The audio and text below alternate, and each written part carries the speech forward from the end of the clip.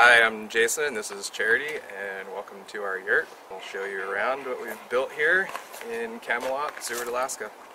We have a business where we rent yurts out, so we actually had another yurt sitting around that was in storage, not being used, and last fall, September, we bought this piece of property. It was it was flat, it already had gravel in here, but it was completely overgrown, had been filled with gravel like 10 years ago.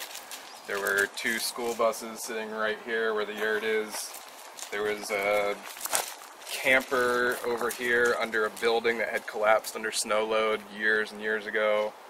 There was an outhouse and a little shed over here. There was another camper, and there was a guy just squatting on this property, and it was completely overgrown with alders. There was there was 15 to 20 foot alders in here. It looked like a little jungle. I just came in and started trimming out alders and kind of made a little driveway in, and then we bought the property and we just came in, cleared out all the alders, burned everything, and we started building right away.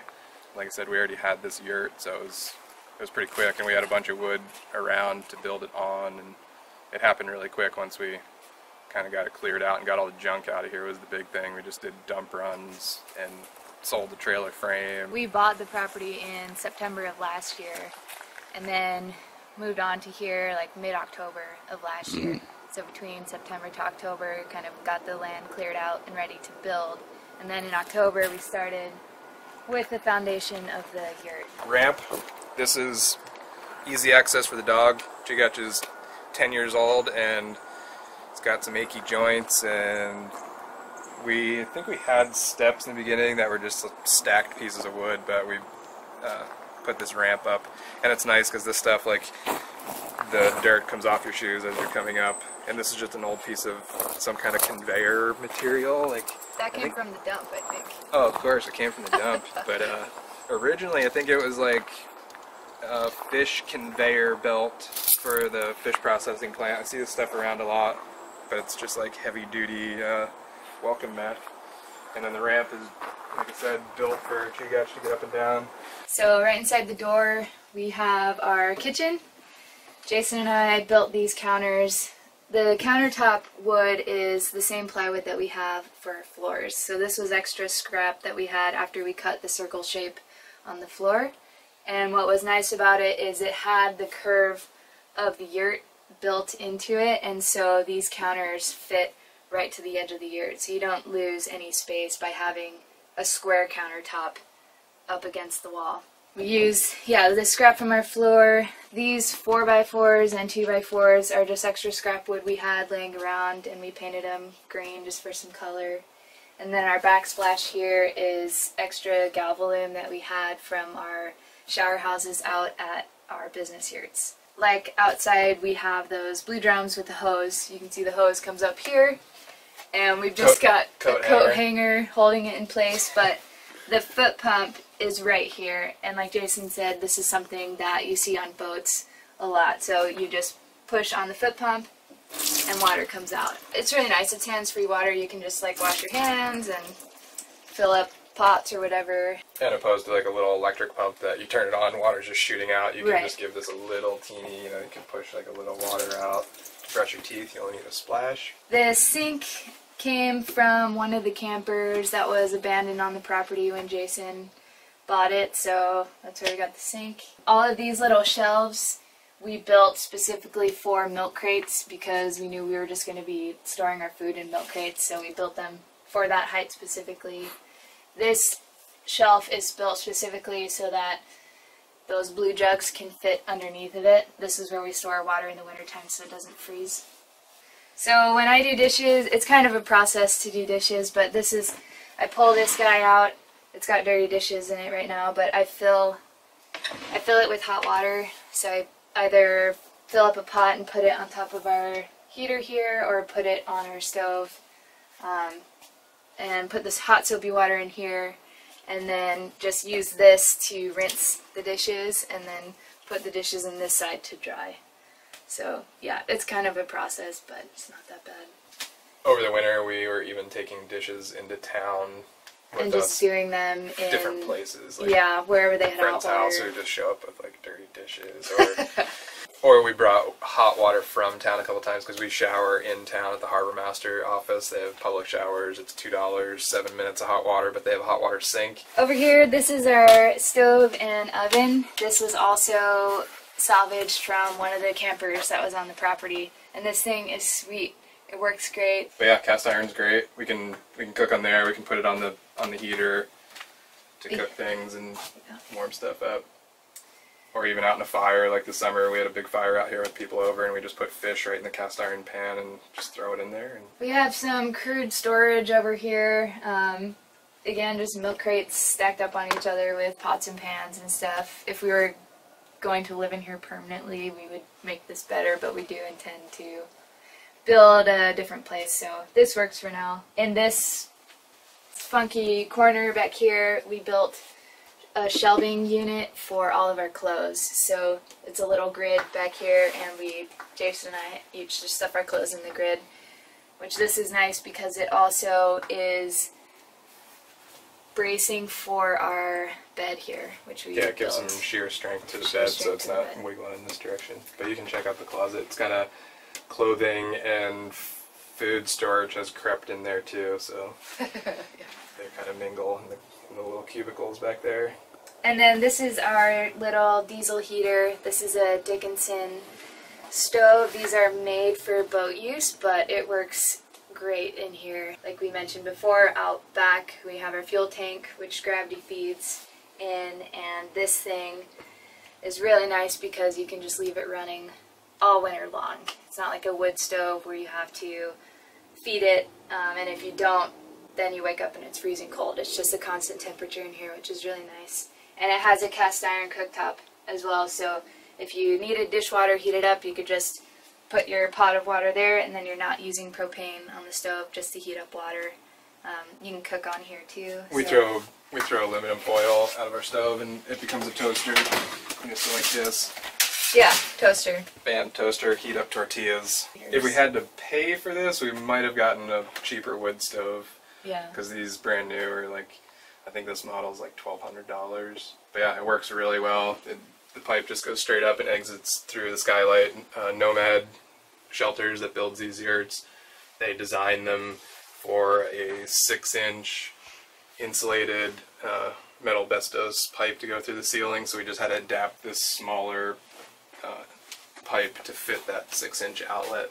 But it's nice because instead of just exiting straight out the wall, like some yurt companies just uh, exit a stovepipe right out the wall, but we actually get a lot of heat off of the stovepipe because there's so much surface area of it in here, so it's nice having it. And it's right by our bed too, so gives off a lot of heat up high there. one of the first things we built in October after we got the yurt up, we got the kitchen counters done, but we also built our bed here. We wanted it to be raised so that we'd have some more space underneath, just living space. And also, in the wintertime, the floor tends to sit around 40 degrees, but up in our bed it's always at least 60 degrees, so it's warmer for sleeping and cooler down here for Chugach, which is nice. Yeah, he gets overheated He at about like 48 degrees is too Yeah. hot for him and he starts So. panting so it's nice having the cold floor we just wear slippers but he's really comfortable Yeah. So, um, yeah, we built this thing and it's it's great.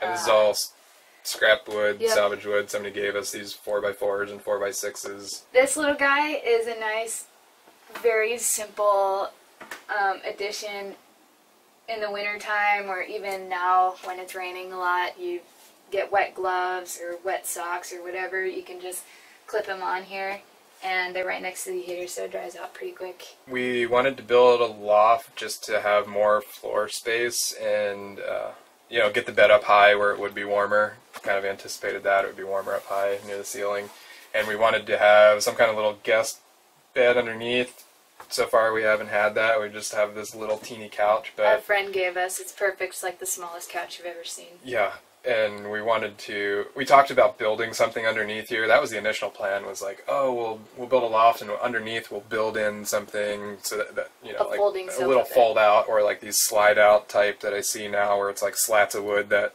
you know interlock like this i still want to build one of those but yeah in the meantime we got this little couch and it's great. working well. It's nice. It's like a little cozy little hole in there. You go in there with a cup of coffee and read a book. I somehow take naps on here. They're always really uncomfortable. But But the, the space is so cozy that I feel like I'm comfortable. So yeah, I go in there and like curl up on the couch. And, Creates a little room. yeah, it's the only room besides the little closet. You've got the room and bedroom and the sitting room. that's that's it. So If we're disagreeing, like I'll go hide in there. Need a curtain on it so I can just yeah. isolate myself.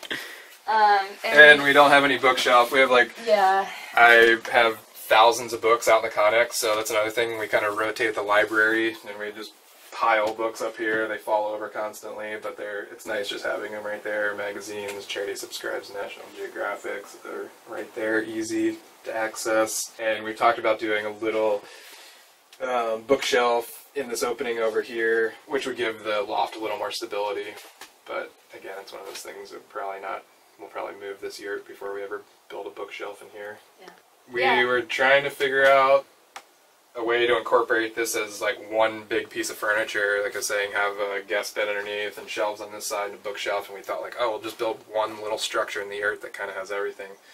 But uh, in the process of trying to figure that out, we through YouTube we found this girl that showed us how to make this triple kind of double lap.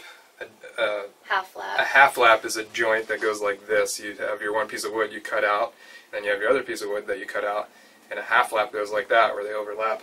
But this is three pieces of wood meeting at one point, so it's kind of a double half lap. You have this one's cut out, and this one's cut out, and then another one is cut out to fit in there. So it was really complicated, but this uh, girl on YouTube that lives in Portugal made a similar loft, and uh, yeah, we watched it over and over, and then we made a couple sample pieces just out of scrap 4x4, and we put those together.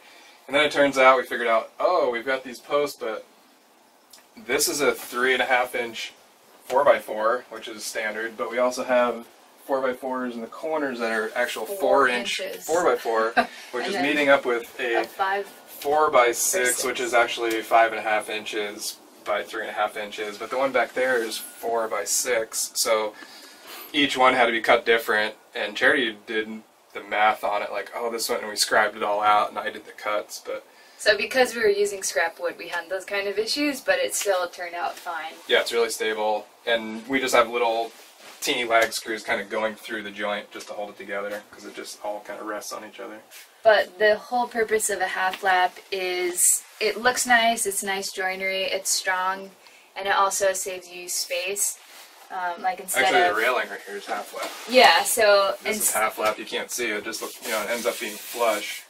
But this is cut out halfway through, and this is cut out halfway through. so instead of having this two by four on top of this two by four, you just sandwich it into the size of one two by four. So you save you save space, and it's just it's better building. We have this little ottoman here for seating. It's nice when we have friends over. It's actually kind of kind of nice. We this were came at from the Goodwill in Anchorage. Yeah. For eighteen dollars. We didn't have any furniture, and I saw this, and I told Charity, I was like, "It's a mini couch." and I had to convince her. here it is. That's all that is, really. Yeah, back in this corner, this ends up being like piles of laundry. It's cleaned up right now, and we have our laundry bag. And behind the little mini couch, we do have a little bit of storage back there. We we keep other comforters and instruments back there. Keep our laundry right here, and this is the ladder that Charity built. and really, you kind of just pick a step. Like nobody goes up the ladder like each step at a time. I go like this far up and then hop in. Or sometimes I even step on here and go to the top step and get in just to skip levels. It's nice when you're living in a small space to have a little open area. Even just this being uncluttered feels nice. Yeah, it's it's just good to have that. But it gets cluttered It inevitably at some point. Stuff piles up, mostly laundry. And then here is the the Goal Zero battery pack that's connected to the solar panel out there. So it's got um, USB charging, re- regular 24 volt, No, eight- uh, 120. Sorry, AC. 120. So this is what we use to charge phones. Um, Jason, we have a collection of little lights. This little BioLite is cool. This um, can even acts as a little battery bank, so it's got a USB in and out. We even charge our phone off this thing sometimes. And we have an assortment of little lights that we've used throughout the winter, and Yeah. from propane lanterns to head. We do a lot of stuff by headlamp, Yeah. Candles. Headlamps are important. LEDs. We have these little things which were Luci lights. yeah, these work great when you have sunlight, but in the wintertime you can't keep this thing charged. They just sat all winter. It's a good idea, you know, you get a little bit of light. We're using them right now because we still ha- do have enough daylight to charge them, but in the winter they were kind of. Um, currently, we have this little LED strip up here, and that's what that was ended up being our primary light over the winter. I think once we narrowed it down, and this is just running. It's a USB strip. They're actually on Amazon. People put them around their flat screen TVs for like backlighting or something. I think that's kind of ridiculous, but right now we're just running this off of Makita tool battery that we use for our all of our cordless tools, and this is just a little adapter that goes on the 18 volt battery and has USB plugs on it, so we can charge phones off this. We can run a little strip light, and uh, we just charge that either off the Honda generator or sometimes last winter we would go to the library and we'd plug in we charge a lot of things at the library. And you know you know you plug in a battery charger that has a little fan on it so we put a jacket on it to keep it quiet. Charging batteries in there. But yeah that ended up being our kind of number one light source over the winter. This thing does get a lot you know the skylight just on even on a cloudy day with the skylight like this i mean it's pretty bright in here. But in the wintertime, it is, you have a lot of dark time. So, um, yeah, it's, there's no one answer really to lighting in here. It's just kind of a bunch of little lights. And if we're running the generator, then we have a, a electric light. Well, thanks for watching our tour of our home. If you want to follow along with us, our business is Shearwater Cove. So you can find us at shearwatercove.com.